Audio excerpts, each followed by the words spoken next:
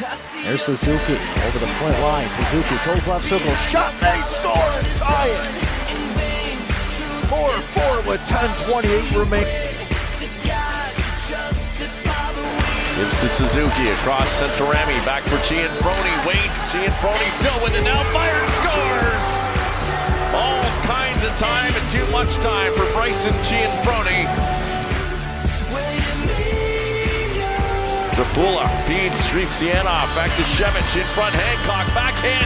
Looking for the backside. Zabula. Now they score! Beautiful pass across in front. And it's Thomas Schemitsch